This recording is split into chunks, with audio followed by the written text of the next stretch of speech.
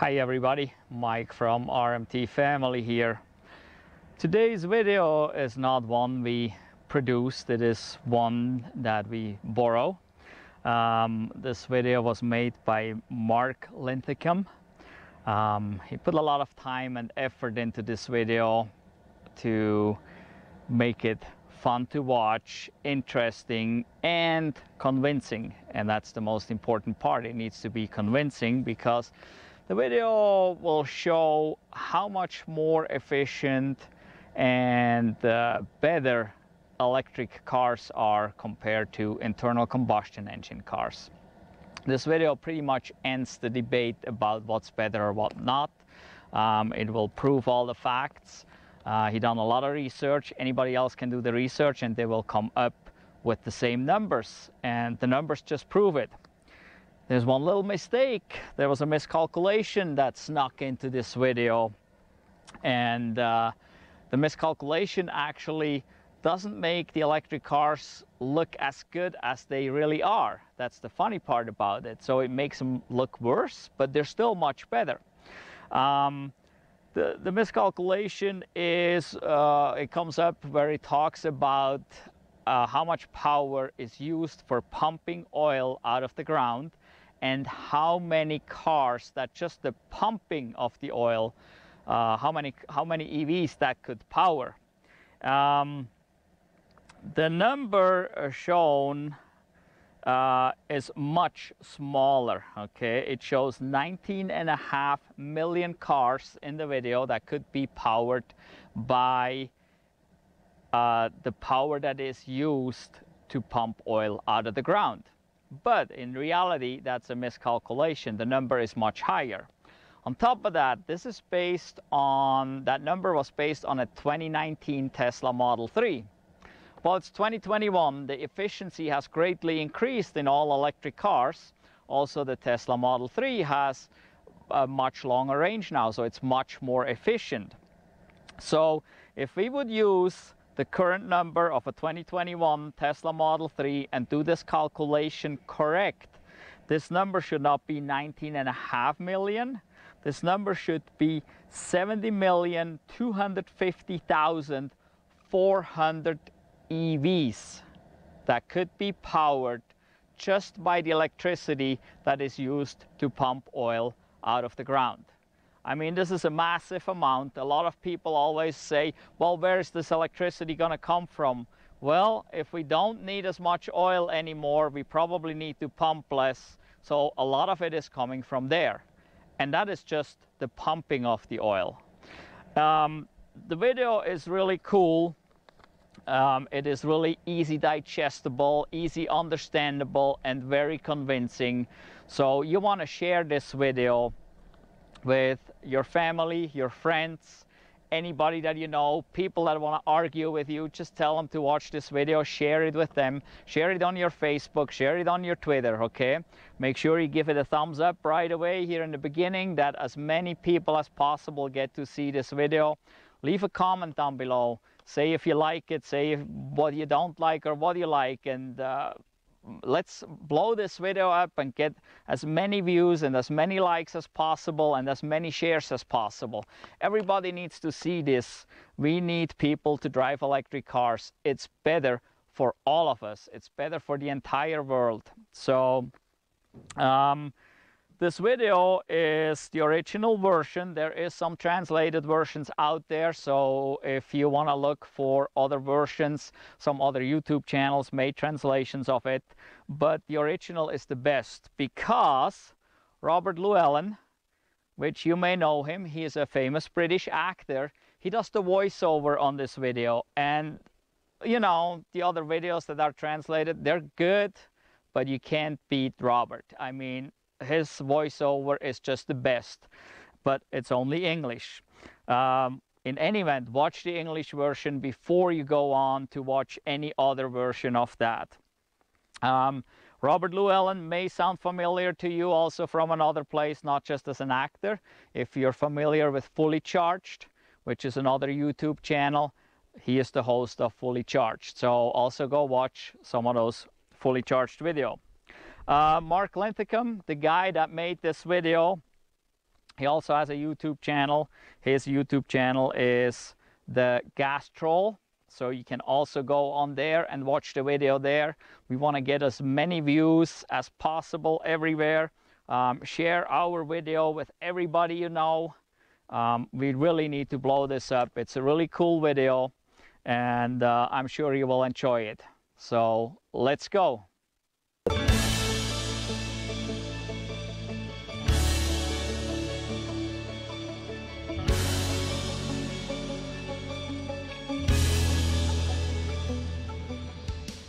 This video was created by the Gastrol YouTube channel with the help from the Fully Charged Show, narrated by Robert Llewellyn.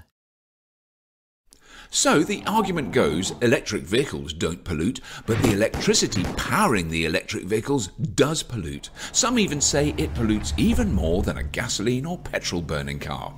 If we're going to look beyond the EV itself to the energy that powers it, shouldn't we do the same for the fossil fueled combustion car? So, what goes into producing the fuel that you burn in your car every day?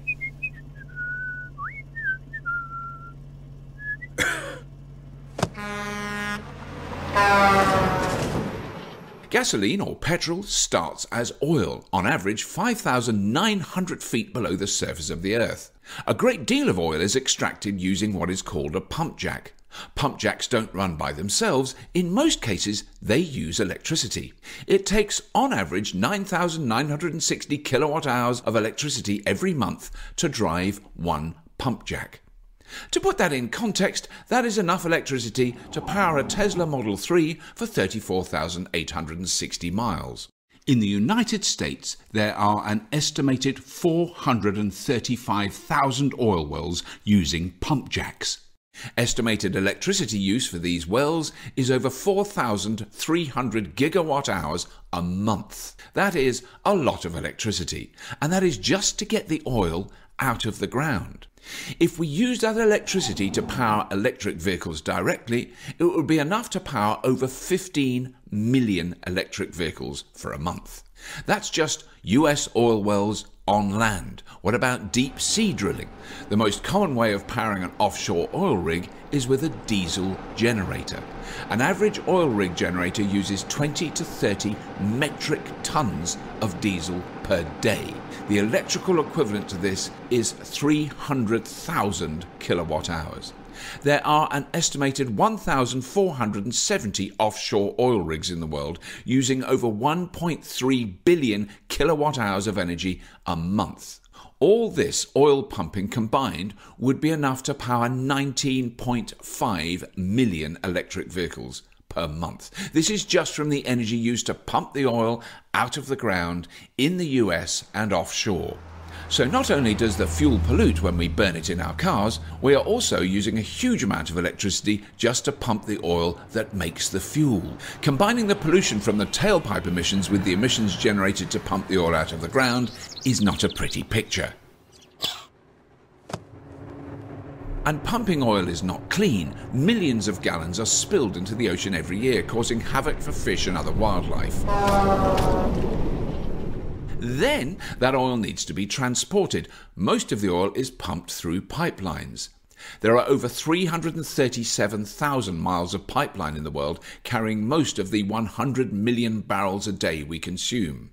These pipelines use pump stations that use even more energy. Oil is also shipped. The oceans are unregulated as regards emissions, so ships use the cheapest, dirtiest fuel possible to keep costs down, making them one of the largest pollution sources on the planet. Shipping is responsible for an estimated 1 billion tons of CO2 per year, and 10% of that is shipping oil. Because these tanker ships pollute so much, many countries do not allow them to operate near their coastline, so they have to be towed into port where the oil is transferred to a refinery. Refining oil takes a huge amount of energy and generates even more pollution. Refining is done by heating oil up to 800 degrees Fahrenheit or 420 degrees centigrade. Heating 100 million barrels of oil a day to these temperatures requires an enormous amount of energy. Heating this oil generates so much pollution, refineries create a serious health hazard anywhere they operate. Refineries are the number one pollution source in many major cities around the world. It is so bad that people living near these refineries have a marked increase of lung disease. Once the oil has been refined, it is transported to fuel stations in diesel trucks, creating even more pollution. Then this fuel is burned in cars and trucks right in our cities where we live and breathe. These cars and trucks have internal combustion engines that are extremely inefficient. 70% of the energy from burning fossil fuels is wasted as heat, while only 30% goes to turn your wheels. So after we use all that electricity pumping oil out of the ground, refining it, transporting it, we then waste 70% when we burn it. Fossil fuel production is an incredibly dirty, inefficient process from start to finish. When we contrast all this to powering an electric vehicle, the difference is very stark. Electricity does not need to be pumped from thousands of feet underground transported with trucks or trains or pumped along pipelines. It does not need to be shipped overseas. It does not need to be refined and it is not polluting where we live and breathe. Even if electricity is produced from burning coal, the power plant is far away from population centres, transferred over power lines keeping any direct pollution away from the population. And if the EV is powered with clean energy, it is clean from start to finish. In the United States, 47% of electricity comes from sources that emit no CO2. In Europe, it is even better at 56%. And the percentage of clean energy is growing every year as coal and gas plants are being replaced by renewable energy sources. So, what about the lithium used in EV batteries? Lithium is a metal that is mined in the deserts of Australia, China, Argentina, and Chile. Besides being a key ingredient in batteries, lithium is also ingested as a medicine for bipolar disorder. Much has been made about the environmental impact of lithium mining, but this is all a little bit overblown. Australia is the largest producer of lithium in the world. If there were any major environmental problems with this mining, some Australians would be talking about it. But what is Australia really talking about when it comes to pollution? Oil refining. Yes, oil refining is creating a much bigger environmental risk than all the lithium mining going on anywhere in the country. Australia is not a very densely populated country. They consume 1% of the world's oil supply and only refine one quarter of the oil they consume but they mine 50% of the world's lithium. So a country that only refines a quarter of 1% of the world's oil and mines 50% of the world's lithium the biggest contributor to pollution and risk to human health in Australia is oil refineries. That does not even take into consideration the drilling, pumping, transporting, and burning of this oil. This is just refining it. The more you look into it, the argument that battery production is somehow as bad as the cycle of fossil fuels is ridiculous. All the lithium mining in the world to date has not done anything like as much damage to the environment as just one major oil spill.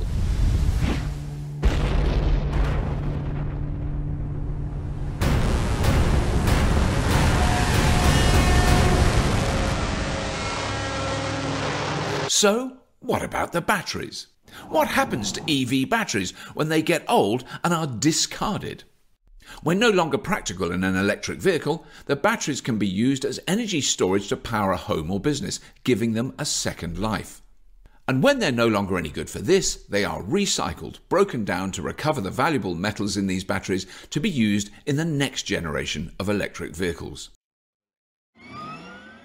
It looks a bit silly to use so much electricity to pump oil out of the ground, create tons of pollution transporting and refining it, to finally waste 70% of it burning it in our cars when we could simply use that electricity directly to power electric vehicles, eliminating the pollution from refining and burning oil in inefficient internal combustion engines. It is obvious when you look at the big picture oil production is a dirty, wasteful process, especially when compared to the alternative powering EVs with renewable electricity. Uh huh, look at that. That that doesn't look too good. Now it looks a little better. I think I'm gonna try this one out. Okay, yeah, oh, nice inside. Wow. Oh, sorry. Wow, this thing's fast. See ya.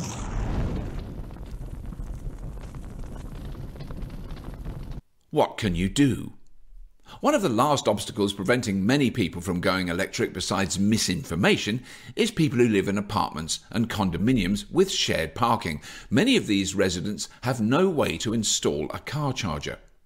If you're a lawmaker, sit on a city council or a local council, if you serve on the board of a housing association, if you own rental property, you can do something to help.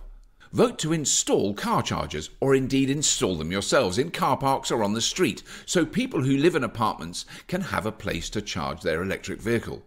There are companies that even offer ways for you to make a profit from these chargers.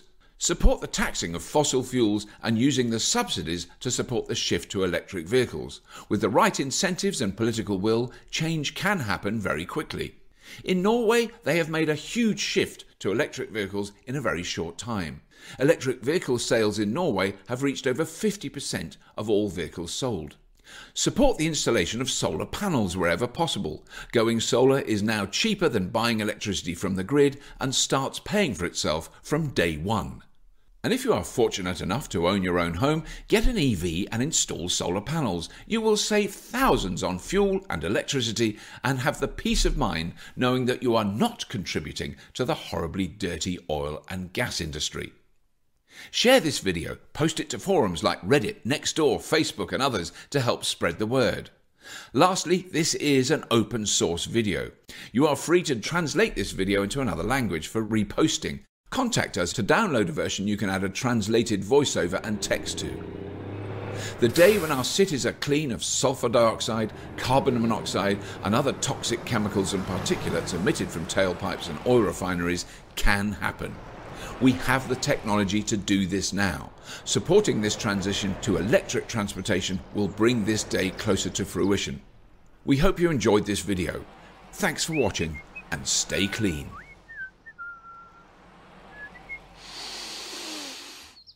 Ah.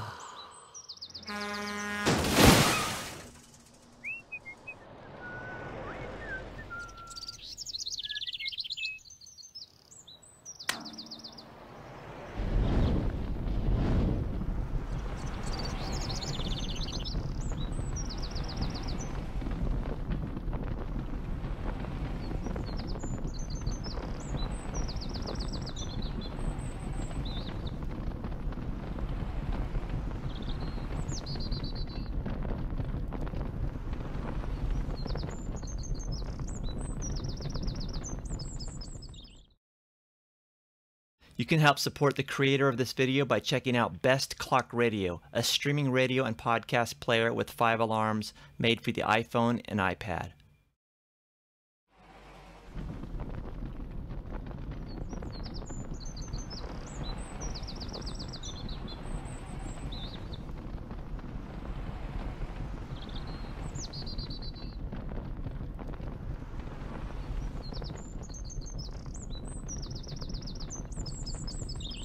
Well, how was the video? I hope you liked it. I mean, I think it's a pretty convincing video. Let me know down in the comments below what you think about this video. Um, please share it with everybody you know and then some. If you haven't done so yet, give us a thumbs up on this video, please. We need to share it with as many people as possible. And again, I want to thank Mark Linthicum for his time and effort to make this video. It's such a great video. Um, so go over to Gas Troll on YouTube and give him a thumbs up there on his video. Maybe leave him a comment right there. Also down below in the description, I will have links to his um, uh, YouTube channel as well as to Fully Charged YouTube channel and some additional information. I hope you enjoyed watching this video. Thank you for watching. Goodbye.